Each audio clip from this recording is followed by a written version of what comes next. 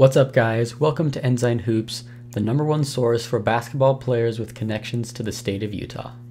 Today, I've got an update on former BYU basketball star Yoeli Childs. The South Jordan, Utah native began this season in Germany with MHP Riesen, but unfortunately suffered a knee injury just three games into the season that required surgery.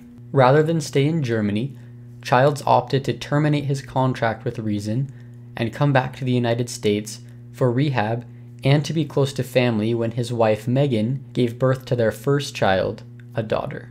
Now that it has been a couple months since surgery and things have presumably calmed down a little bit with having a new child at home, Yoeli is ready to play basketball again. This past Thursday, the Salt Lake City Stars announced that they had acquired the returning player rights to Yoeli from the Capital City Go-Go.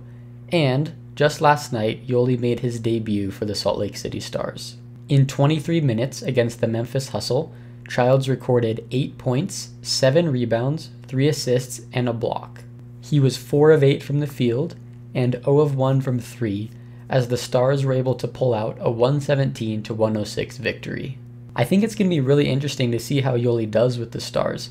He looked great in Summer League with the Los Angeles Lakers, and a lot of G League players are getting call ups right now due to the current COVID situation. So I would not be surprised if at some point this season, Yoeli gets a chance to do it in the NBA. Alright, that's going to do it for this video. Thank you so much for watching. I'm really hoping to start posting again more frequently. My schedule is pretty crazy over the last couple months, but things are kind of starting to calm down, so I'm hoping to get into a regular posting schedule. But if you did like this video, make sure to leave a like and also subscribe for more content about your favorite basketball players with connections to the state of Utah. All right, I'll see you guys next time.